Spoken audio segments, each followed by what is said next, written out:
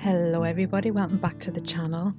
And if you're new, here we share good food from a Geordie kitchen. This is your weekly run through of everything we've been having for tea this week, starting from last Monday, going all the way through till Sunday. Now as you know, I had a bit of a run in with the stairs last week and Mr. Haway has been doing all the cooking in the kitchen and he's been doing very well, bless him.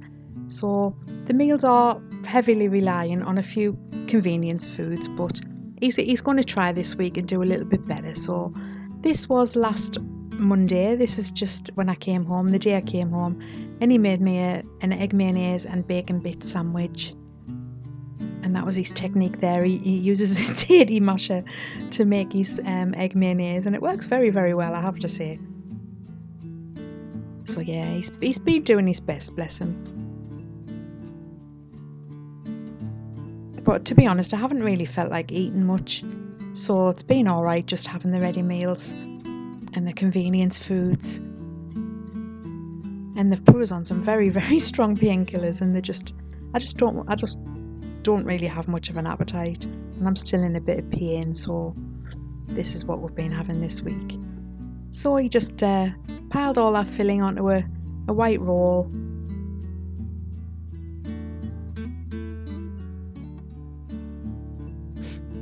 and a bit of salt. And I just had a packet of crisps with that. You had, you had to put them on the plate. Eating with one hand is quite an adventure. and I had a, a chocolate mousse as well.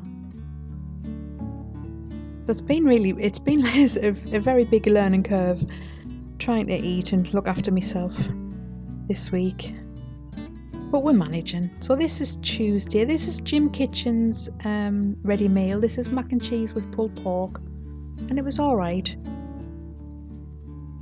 I didn't really understand why they made it a mac and cheese and then filled it with with the, the barbecue flavours, but you know it was all right. It filled a gap.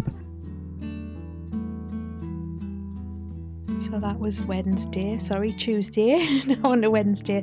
Mr. Haway actually popped out and went to Marks and Spencer for a bit of a treat for the meals. So this is their their tin chicken soup, and it was lovely. It was just what I fancied, and we had that with their um, tiger bread, their fresh tiger bread. This is the best tiger bread I've ever had in my life. Absolutely delicious, really really lovely. So I thoroughly enjoyed that. Even eating it with one hand, it was delicious. so that was Wednesday. And I also got one of these. I've never had these. I've often seen them, these strawberry meringues. I've often seen them in the store. And he picked one of those up for us. They make you very messy, especially if you're, you're eating it with one hand, trying to trying to eat all that meringue. you end up with shards of it down your front. But it was lovely. Really, really nice treat. So on a Thursday, this is their Marks and Spencer macaroni cheese. I usually buy these for my son because he loves them, but I decided to have one as well.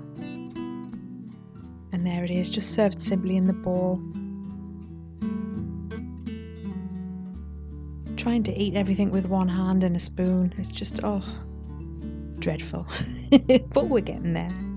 So this is from Farmfoods. This is what we picked up the last time we were there. These are steam bags. So this was chicken Thai chicken curry but it was more like a, a stir fry, really. I think um, it was all right. It had a lot of peppers in it, which I don't think a Thai curry would have in. But you know, I was hungry. I ate it. It was fine. I wouldn't repurchase though. that was Friday. So this is Marks and Spencer's chicken and chips ready meal, and it was beautiful. It was exactly like a KFC. It was lovely, and that was done in the air fryer by the Mister, and it was lovely. Really enjoyed it. So on to Sunday, this is uh, Marks and Spencer roast pork count on us meal, which I really enjoyed as well. Really, really lovely. Those potatoes were heavenly. And this is their cabbage medley that I had on the side, just to have sort of like a, a Sunday dinner, really, you know. And that was really, really nice. Enjoyed that very, very much. They're Count On Us meals. They don't taste like diet meals. They are delicious, really, really nice. We will be getting them again. I'm trying to lose a few pounds just before we go away. We're going away at the end of the month, so I have to fit into a dress As you know how it is. So that was the week. So I, I just want to talk about some shoes I've been sent. These, before I had me, me fall, these were sent to me very, very kindly by Fitville, Fitville Shoes. And if you're like me and you have very, very wide feet, these will be a godsend. So they said I could choose any pair, so I chose these ones because I like the pastel colours.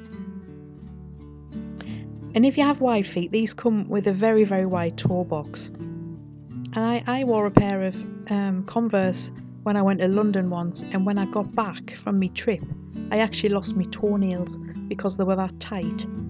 But I've never worn shoes like these. These were fabulous. So much room in them toe box, and they were very, very bouncy as well. Yes, they have a cushioned sole. They help your feet, your ankles, and knee pain as well. And the fittings, the width fittings go up to a 4E.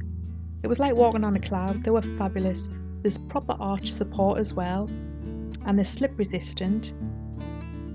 And they also help correct your feet if you have a different a different gait or flat feet.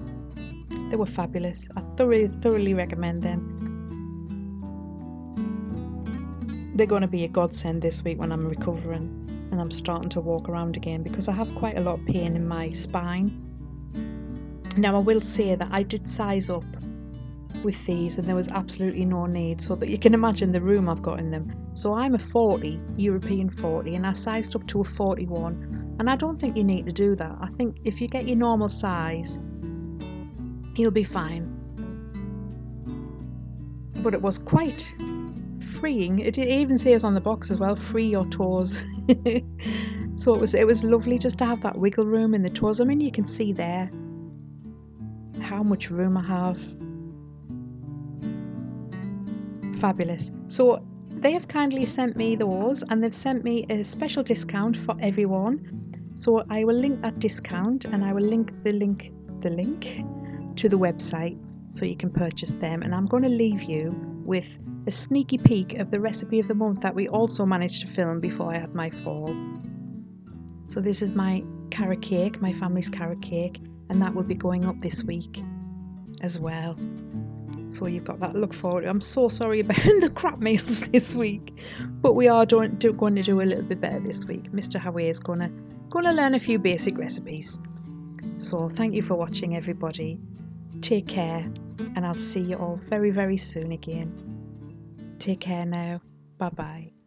I went to Blaydon Races, it was on the 9th of June, 1862 in a summer's afternoon. We took the bus for Balmbra's and she was heavy laden.